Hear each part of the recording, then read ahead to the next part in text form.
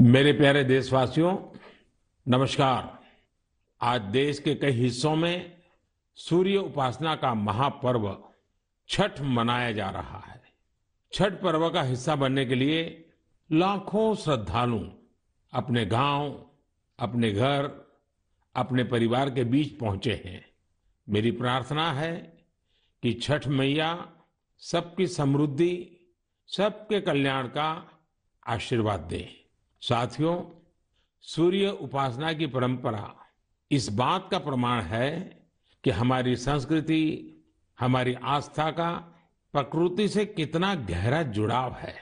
इस पूजा के ज़रिए हमारे जीवन में सूर्य के प्रकाश का महत्व समझाया गया है।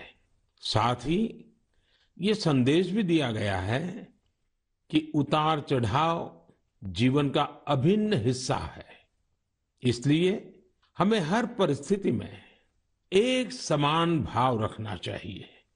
छठ मैया की पूजा में भांति भांति के फलों और ठेकुआ का प्रसाद चढ़ाया जाता है। इसका व्रत भी किसी कठिन साधना से कम नहीं होता।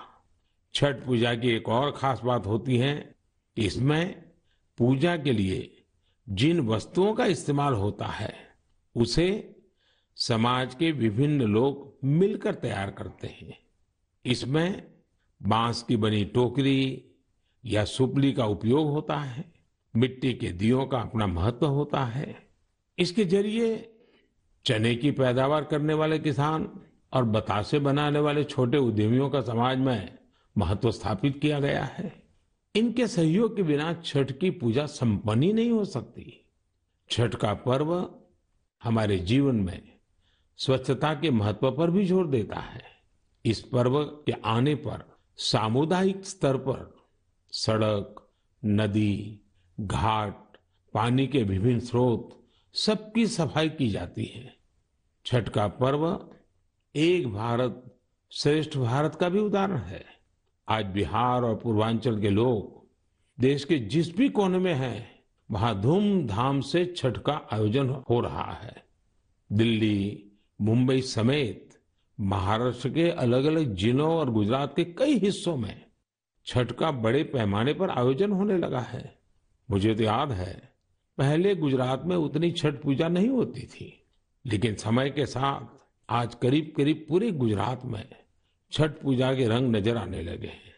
ये देखकर मुझे भी बहुत खुशी होती है। आजकल हम देखते हैं, विदेशों से भी छठ पूजा की कितनी भव्य तस्वीरें आती हैं। यानी भारत की समृद्ध विरासत, हमारी आस्था, दुनिया के कोने कोने में अपनी पहचान बढ़ा रही है। इस महापर्व में शामिल होने वाले हर आस्थावान को मेरी तरफ़ से बहुत बहुत शुभकामनाएँ। मेरे प्यारे देशवासियों, अभी हमने पवित्र छठ पूजा की बात की, भगवान सूर्य की उपासना की बात की। तो क्यों न सूर्य उपासना के साथ साथ आज हम उनके वरदान की भी चर्चा करें? सूर्य देव का ये वरदान है, सौर ऊर्जा सोलर एनर्जी आज एक ऐसा विषय है जिसमें पूरी दुनिया अपना भविष्य देख रही है। और भारत के लिए तो सूर्यदेव सदियों से उपासना ही नहीं, जीवन पद्धति के भी केंद्र में रह रहे हैं। भारत आज अपने पारंपरिक अनुभवों को आधुनिक विज्ञान से जोड़ रहा है। तभी आज हम सौर ऊर्जा से बिजली बनाने वाले सबसे बड़े देशों में शामिल हो गए हैं। सौर ऊर्जा से कैसे हमारे देश के गरीब और मध्यम वर्ग के जीवन में बदलाव आ रहा है, वो भी अध्ययन का विषय है। तमिलनाडु में, कांचीपुरम में एक किसान है, थीरू के एजिलन। इन्होंने पीएम कुसुम योजना का लाभ लिया और अपने खेत में 10 हॉर्स पावर का सोलर पंप सेट लगवाया। अब उन्हें अपने खेत के लिए बिजली पर कुछ खर्च नहीं करना होता है। खेत में सिंचाई के लिए अब वो सरकार की बिजली सप्लाई पर निर्भर भी नहीं है।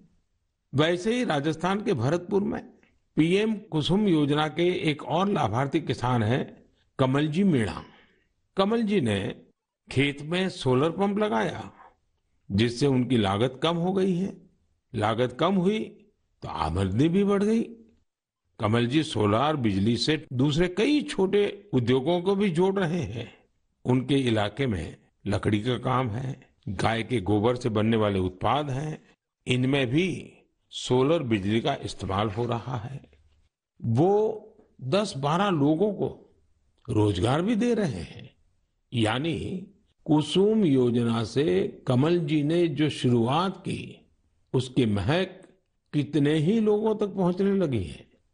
साथियों, क्या आप कभी कल्पना कर सकते हैं कि आप महीने भर बिजली का उपयोग करें और आपका बिजली बिल आने के बजाय आपको बिजली के पैसे मिले?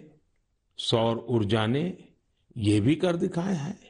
आपने कुछ दिन पहले देश के पहले सूर्यग्राम, गुजरात के मोढेरा की खूब चर्चा सुनी होगी। मोढेरा सूर्यग्राम के ज़्यादातर घर सोलर पावर से बिजली पैदा करने लगे हैं। अब वहाँ के कई घरों में महीने के आखिर में बिजली का बिल नहीं आ रहा, बल्कि बिजली से कमाई का चेक आ रहा है। ये होता देख अब देश के बहुत से गाँवों के लोग मुझे चिट्ठियाँ लिखकर कह रहे हैं कि उनके गाँव को भी सूर्यग्राम में बदला जाए।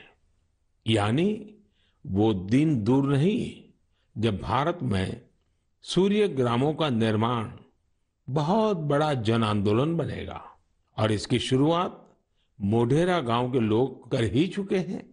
आइए मन की बात के श्रोताओं को भी मोढेरा के लोगों से मिलवाते हैं। हमारे साथ इस समय फ़ोन लाइन पर जुड़े हैं श्रीमान बिपिन भाई पटेल। बिपिन भाई, नमस्ते।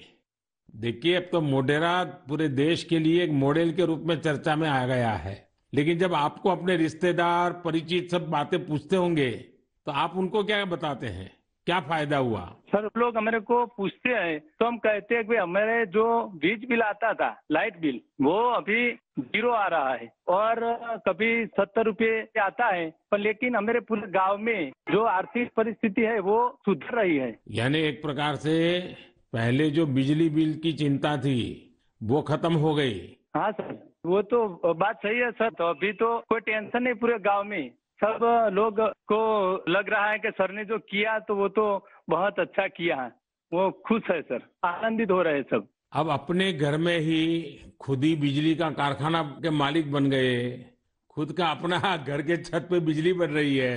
हाँ बात सही है सर। तो क्या ये बदलाव जो आया है उसकी गाँव के लोगों पे क्या असर है? सर वो पूरे गाँव के लोग वो खेती कर रहे हैं। तो फिर मेरे को बिजली की जो झंझट थी तो उसमें मुक्ति हो गई है। बिजली का बिल तो भरना नहीं है निश्चित हो गए हैं सर। मतलब बिजली का बिल भी गया और सुविधा बढ़ गई। झंझट भी गया सर। और सब जब आप यहाँ आए थे और तो थ्री डी शो जो यहाँ उद्घाटन किया तो इसके बाद तो मोटेरा गाँव में चार चाँद लग गए सर। और वो जो सेक्रेटरी आए थे सर जी जी। तो वो गाँव फ़ेमस हो गया सर। या यूएन के सेक्रेटरी जनरल उनकी खुद की इच्छा थी। उन्होंने मुझे बड़ा आग्रह किया कि भाई इतना बड़ा काम किया है तो मैं वहाँ जाके देखना चाहता हूँ। चलिए विपिन भाई आपको और आपके गाँव के सब लोगों को मेरी तरफ़ से बहुत बहुत शुभकामनाएँ और दुनिया आप में से प्रेरणा ले और ये सोलर एनर्जी का अभियान घर घर चले। ठीक है सर। हम लोगों को बताएँगे कि भाई सोलर लगवाओ आपके पैसे से भी लगवाओ तो बहुत फ़ायदा है। हाँ लोगों को समझाइए। चलिए बहुत बहुत शुभकामनाएँ। धन्यवाद भैया। Thank you sir thank you sir मेरा जीवन धन्य हो गया आपसे बात करके। विपिन भाई का बहुत बहुत धन्यवाद। आइए अब मोडेरा गाँव में वर्षा बहन से भी बात करेंगे। हेलो नमस्ते सर। नमस्ते नमस्ते वर्षा बहन कैसी हैं आप? हाँ, बहुत अच्छे सर आप कैसे हैं? मैं बहुत ठीक हूँ। हम धन्य हो गए सर आपसे बात करके। अच्छा वर्षा बहन हाँ। आप मोढेरा में आप तो एक तो फौजी परिवार से हैं। फौजी परिवार से हूँ मैं आर्मी एक्समैन की वाइफ बोल रही हूँ सर तो पहले हिंदुस्तान में कहाँ कहाँ जाने का मौका मिला आपको? मुझे राजस्थान में मिला गांधीनगर में मिला कटरा का जो जम्मू है वहाँ पर मिला मौका साथ में रहने का। बहुत सुविधा वहाँ पर मिल रही थी सर और ये फौज में होने के कारण आप हिंदी भी बढ़िया बोल रही हो। हाँ सीखा है सर मुझे बताइए मोढेरा में जो इतना बड़ा परिवर्तन आया ये सोलर रूपटॉप प्लांट आपने लगवा दिया। जो शुरू में लोग कह रहे होंगे, तब तो आपको मन में आया होगा, ये क्या मतलब है, क्या कर रहे हैं, क्या होगा? ऐसे थोड़ी बिजली आती है, सब बातें हैं कि आपके मन में आई होगी। अब क्या अनुभव आ रहा है? इसका फ़ायदा क्या हुआ है? बहुत सर फ़ायदा तो फ़ायदा ही फ़ायदा हुआ है। सर हमारे गाँव में तो रोज दिवाली मनाई जाती है आपकी वजह से। 24 घंटे हमें बिजली मिल रही है। बिल तो आता ही नहीं है बिल्कुल। हमारे घर में हमें हमने इलेक्ट्रिक सब चीज़ें घर में ला रखी है सर। सब यूज़ कर रहे हैं हम। आपकी वजह से सर बिल आता ही नहीं है तो हम फ्री माइंड से सब यूज़ कर सकते हैं ना। ये बात सही है। आपने बिजली का अधिकतम उपयोग करने के लिए भी मन बना लिया है। बना लिया सर बना लिया। अभी हमें कोई दिक्कत ही नहीं है हम फ्री माइंड से सब जो वॉशिंग मशीन है एसी है सब चला सकते हैं सर और गाँव के बाकी लोग भी खुश हैं इसके कारण? बहुत बहुत खुश है सर अच्छा ये आपके पतिदेव तो वहाँ सूर्य मंदिर में काम करते हैं। तो वहाँ वो जो लाइट शो हुआ इतना बड़ा इवेंट हुआ और अभी दुनिया भर के मेहमान आ रहे हैं। दुनिया भर के फॉरेनर आ सकते हैं अगर आपने वर्ल्ड में प्रसिद्ध कर दिया है हमारे गाँव को। तो आपके पति को अब काम बढ़ गए होगा इतने मेहमान वहाँ मंदिर में देखने के लिए आ रहे हैं। अरे कोई बात नहीं जितना भी काम बढ़े सर कोई बात नहीं इसकी हमें कोई दिक्कत नहीं है हमारे पति को बस आप विकास करते जाओ हमारे गाँव का। अब गाँव का विकास तो हम सबको मिल करके करना है। हाँ हाँ सर हम आपके साथ है। और मैं तो मोढेरा के लोगों का अभिनंदन करूँगा क्योंकि गाँव ने इस योजना को स्वीकार किया और उनको विश्वास हो गया कि हाँ हम अपने घर में बिजली बना सकते हैं। चौबीस घंटे सर हमारे घर में बिजली आती है और हम बहुत खुश हैं। चलिए मेरी आपको बहुत शुभकामनाएँ हैं जो पैसे बचे हैं इसका बच्चों के भलाई के लिए उपयोग कीजिए। उन पैसों का उपयोग अच्छा हो ताकि आपका जीवन को फ़ायदा हो। मेरी आपको बहुत शुभकामनाएँ हैं। और सब मोटेरा वालों को मेरे नमस्कार। साथियों, वर्षा बहन और विपिन भाई ने जो बताया है, वो पूरे देश के लिए, गाँवों, शहरों के लिए एक प्रेरणा है। मोढेरा का ये अनुभव पूरे देश में दोहराया जा सकता है। सूर्य की शक्ति अब पैसे भी बचाएगी और आय भी बढ़ाएगी। जम्मू कश्मीर के श्रीनगर से एक साथी हैं, मंजूर अहमद लईवाल कश्मीर में सर्दियों के कारण बिजली का खर्च काफ़ी होता है। इसी कारण मंजूर जी का बिजली का बिल भी चार हज़ार रुपये से ज़्यादा आता था। लेकिन जब से मंजूर जी ने अपने घर पर सोलर रूफटॉप प्लांट लगवाया है, उनका खर्च आधे से भी कम हो गया है।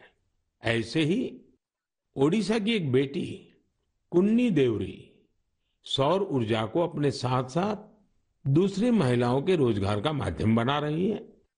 कुन्नी उड़ीसा के केंदुझर ज़िले के करदापाल गाँव में रहती है।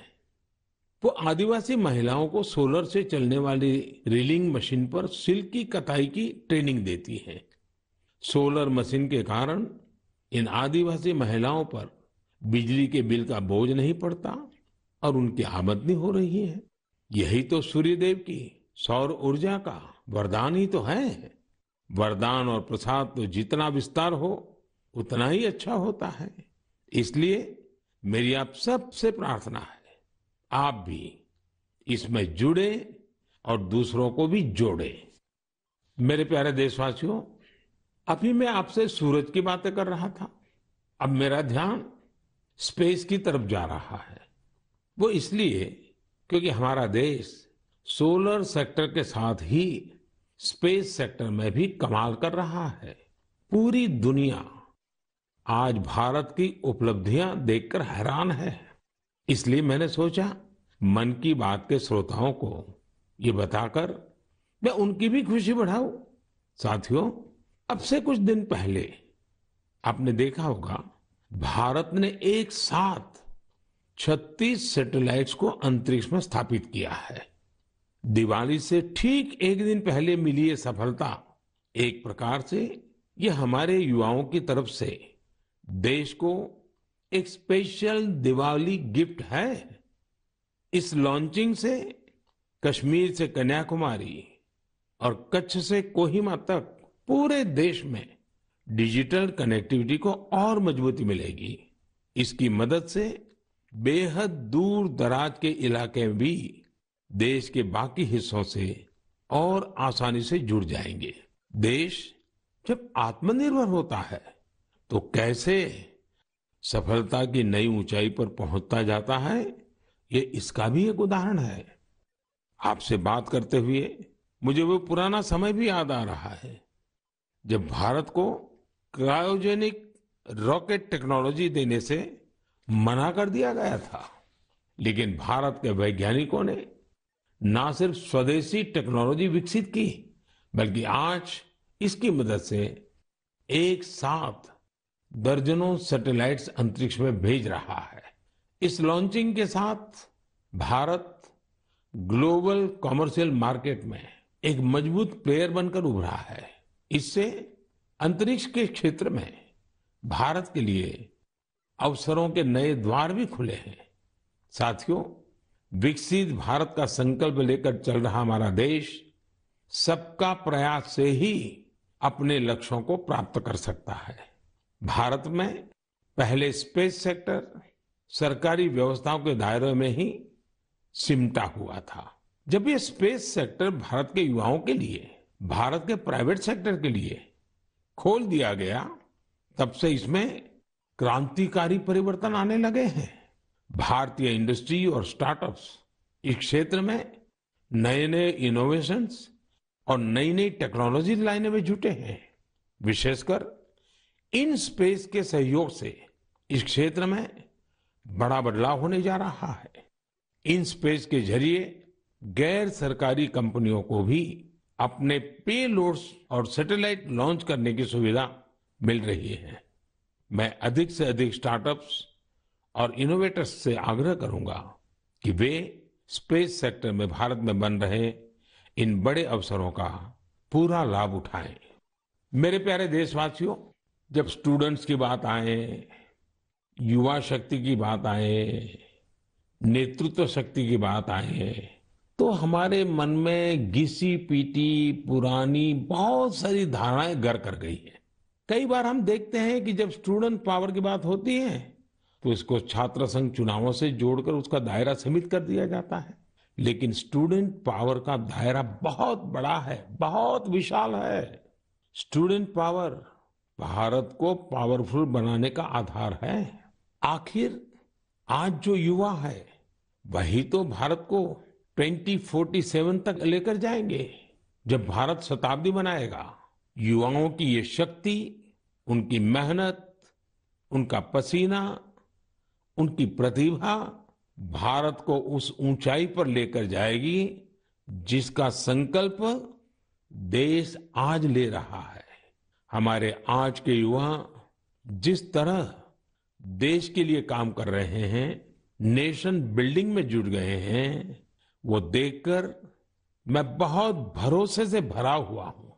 जिस तरह हमारे युवा हैकेथॉन्स में प्रॉब्लम सॉल्व करते हैं।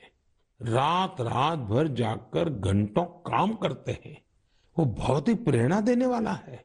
बीते वर्षों में हुए हैकाथॉन्स ने देश के लाखों युवाओं ने मिलकर बहुत सारे चैलेंजेस को निपटाया है। देश को नए सॉल्यूशन दिए हैं। साथियों, आपको याद होगा, मैंने लाल किले से जय अनुसंधान का आह्वान किया था। मैंने इस दशक को भारत का टेकेड बनाने की बात भी कही थी। मुझे ये देखकर बहुत अच्छा लगा।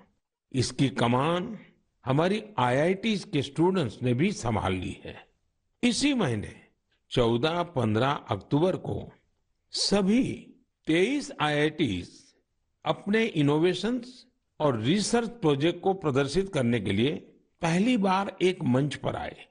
इस मेले में देश भर से चुनकर आए स्टूडेंट्स और रिसर्चर्स उन्होंने 75 से अधिक बेहतरीन प्रोजेक्ट्स को प्रदर्शित किया। Health care agriculture robotics semiconductors 5G communications ऐसी ढेर सारी थीम्स पर ये प्रोजेक्ट बनाए गए थे। वैसे तो ये सारे ही प्रोजेक्ट एक से बढ़कर एक थे। लेकिन मैं कुछ प्रोजेक्ट्स के बारे में आपका ध्यान आकर्षित करना चाहता हूँ। जैसे आईआईटी भुवनेश्वर की एक टीम ने नवजात शिशुओं के लिए पोर्टेबल वेंटिलेटर विकसित किया है। ये बैटरी से चलता है और इसका उपयोग दूर दराज के क्षेत्रों में आसानी से किया जा सकता है। ये उन बच्चों का जीवन बचाने में बहुत मददगार साबित हो सकता है, जिनका जन्म तय समय से पहले हो जाता है। इलेक्ट्रिक मोबिलिटी हो, ड्रोन टेक्नोलॉजी हो 5G हो हमारे बहुत सारे छात्र इनसे जुड़ी नई टेक्नोलॉजी विकसित करने में जुटे हैं। कई सारी आईआईटीज मिलकर एक बहुभाषक प्रोजेक्ट पर भी काम कर रही है, जो स्थानीय भाषाओं को सीखने के तरीके को आसान बनाता है। ये प्रोजेक्ट नई राष्ट्रीय शिक्षा नीति को, उन लक्ष्यों को प्राप्ति में भी बहुत मदद करेगा। आपको ये जानकर भी अच्छा लगेगा। कि आईआईटी मद्रास और आईआईटी कानपुर ने भारत के स्वदेशी 5G टेस्ट बेड को तैयार करने में अग्रणी भूमिका निभाई है। निश्चित रूप से यह एक शानदार शुरुआत है। मुझे आशा है कि आने वाले समय में इस तरह के कई और प्रयास देखने को मिलेंगे। मुझे यह भी उम्मीद है कि आईआईटी से प्रेरणा लेकर दूसरे इंस्टीट्यूशंस भी अनुसंधान एवं विकास से जुड़ी अपनी एक्टिविटीज़ में तेज़ी लाएँगे। मेरे प्यारे देशवासियों, पर्यावरण के प्रति संवेदनशीलता हमारे समाज के कण कण में समाहित है और इसे हम अपने चारों ओर महसूस कर सकते हैं। देश में ऐसे लोगों की कमी नहीं जो पर्यावरण की रक्षा के लिए अपना जीवन खपा देते हैं। कर्नाटका के बेंगलुरु में रहने वाले सुरेश कुमार जी से भी हम बहुत कुछ सीख सकते हैं। उनमें प्रकृति और पर्यावरण की रक्षा के लिए गजब का जुनून है। 20 साल पहले उन्होंने शहर के सहकार नगर के एक जंगल को फिर से हरा भरा करने का बिड़ा उठाया था। ये काम मुश्किलों से भरा था, लेकिन 20 साल पहले लगाए गए वो पौधे आज 40-40 फीट ऊँचे विशाल काय पेड़ बन चुके हैं। अब इनकी सुंदरता हर किसी का मन मोह लेती है। इससे वहाँ रहने वाले लोगों को भी बड़े गर्व की अनुभूति होती है। सुरेश कुमार जी और एक अद्भुत काम भी करते हैं। उन्होंने कन्नड़ा भाषा और संस्कृति को बढ़ावा देने के लिए सहकार नगर में एक बस शेल्टर भी बनाया है।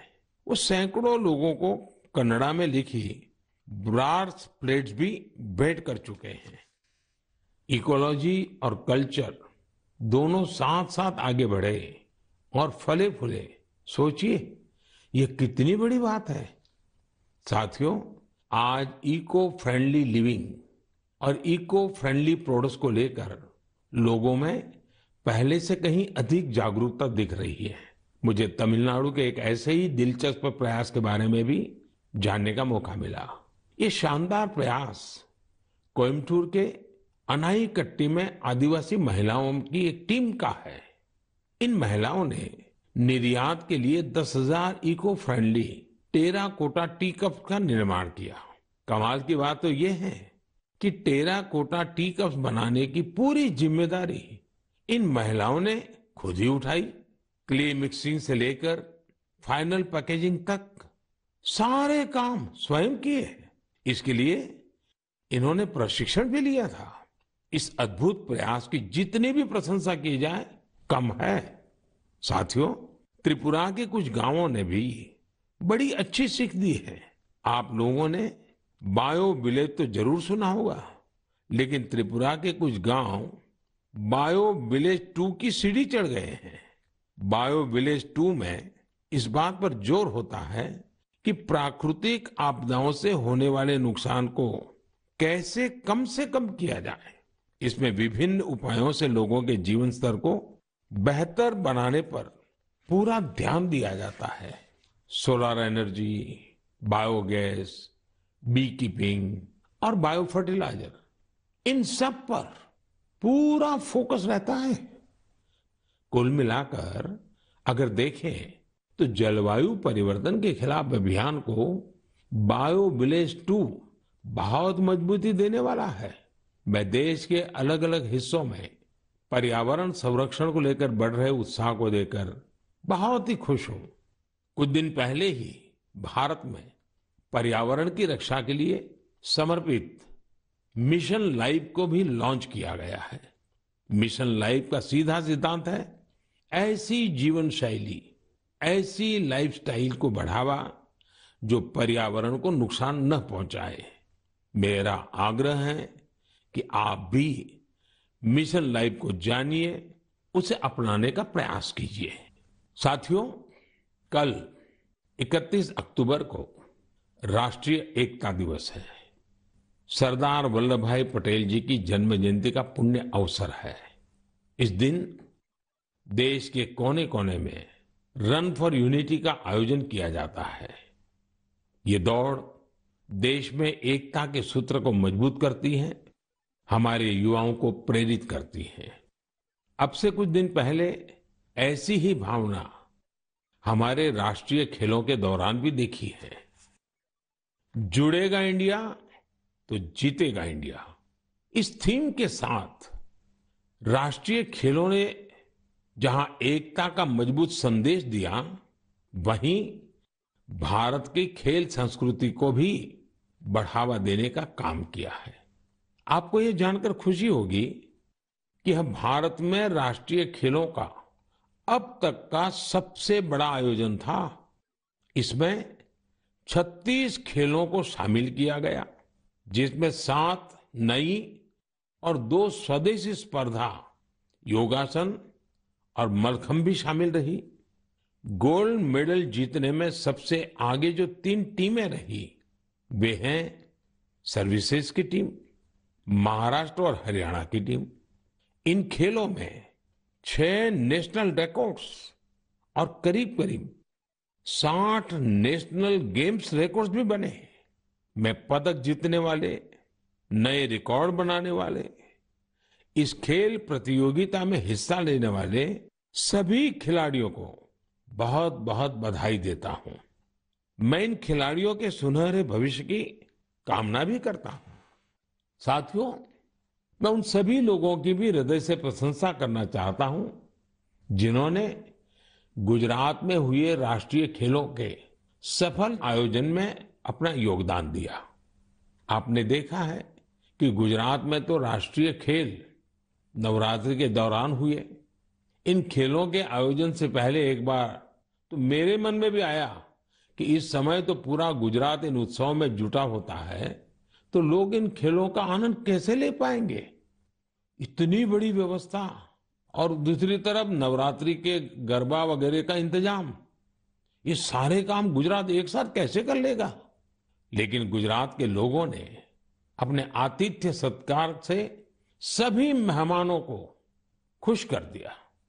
अहमदाबाद में नेशनल गेम्स के दौरान जिस तरह कला, खेल और संस्कृति का संगम हुआ, वह उल्लास से भर देने वाला था। खिलाड़ी भी दिन में जहाँ खेल में हिस्सा लेते थे, वही शाम को वे गरबा और डांडिया के रंग में डूब जाते थे। उन्होंने गुजराती खाना और नवरात्रि की तस्वीरें भी सोशल मीडिया पर खूब शेयर की।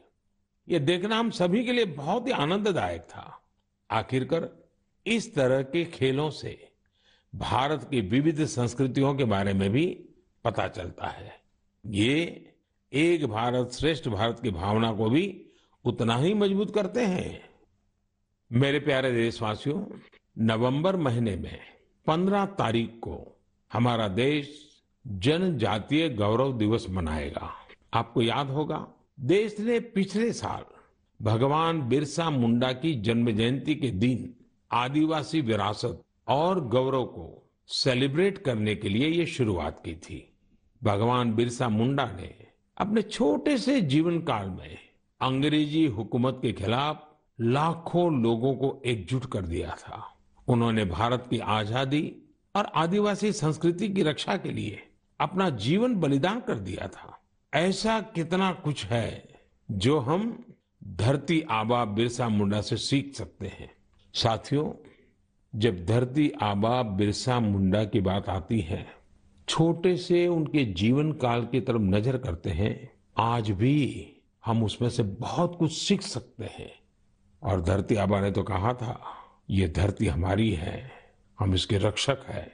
उनके इस वाक्य में मातृभूमि के लिए कर्तव्य भावना भी है और पर्यावरण के लिए हमारे कर्तव्यों का एहसास भी है।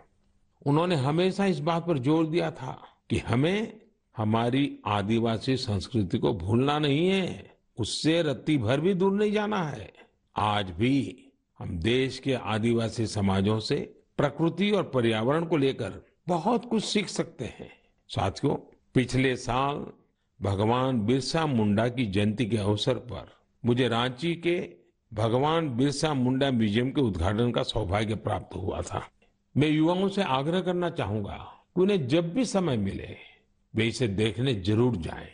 मैं आपको ये भी बताना चाहता हूँ कि एक नवंबर, यानी परसों, मैं गुजरात, राजस्थान के बॉर्डर पर मौजूदा मानगढ़ में रहूँगा भारत के स्वतंत्रता संग्राम और हमारी समृद्ध आदिवासी विरासत में मानगढ़ का बहुत ही विशिष्ट स्थान रहा है। यहाँ पर नवंबर 1913 में एक भयानक नरसंहार हुआ था, जिसमें अंग्रेज़ों ने स्थानीय आदिवासियों की निर्ममता पूर्वक हत्या कर दी थी। बताया जाता है कि इस नरसंहार में एक हज़ार से अधिक आदिवासियों को अपनी जान गंवानी पड़ी थी। इस जनजातीय आंदोलन का नेतृत्व गोविंद गुरु जी ने किया था, जिनका जीवन हर किसी को प्रेरित करने वाला है। आज मैं उन सभी आदिवासी शहीदों और गोविंद गुरु जी के अदम्य साहस और शौर्य को नमन करता हूँ। हम इस अमृत काल में भगवान बिरसा मुंडा, गोविंद गुरु और अन्य स्वतंत्र सेनानियों के आदर्शों का जितनी निष्ठा से पालन करेंगे, हमारा देश उतनी ही ऊंचाइयों को छुएगा। मेरे प्यारे देशवासियों, आने वाली 8 नवंबर को गुरुपुरब है। गुरु नानक जी का प्रकाश पर्व जितना हमारी आस्था के लिए महत्वपूर्ण है, उतना ही हमें इससे सीखने को भी मिलता है। गुरु नानक देव जी ने अपने पूरे जीवन मानवता के लिए प्रकाश फैलाया। पिछले कुछ वर्षों में देश ने गुरुओं के प्रकाश को जन जन तक पहुँचाने के लिए अनेकों प्रयास किए हैं। हमें गुरु नानक देव जी का 550वां प्रकाश पर्व देश और विदेश में व्यापक स्तर पर मनाने का सौभाग्य मिला था। दशकों के इंतज़ार के बाद करतारपुर साहिब कॉरिडोर का निर्माण होना भी उतना ही सुखद है। कुछ दिन पहले ही मुझे हेमकुंड साहब के लिए रोपवे के शिलान्यास का भी सौभाग्य मिला है। हमें हमारे गुरुओं के विचारों से लगातार सीखना है। उनके लिए समर्पित रहना है। इसी दिन कार्तिक पूर्णिमा का भी है। इस दिन हम तीर्थों में, नदियों में स्नान करते हैं सेवा और दान करते हैं। मैं आप सभी को इन पर्वों की हार्दिक बधाई देता हूँ। आने वाले दिनों में कई राज्य अपने राज्य दिवस भी मनाएँगे।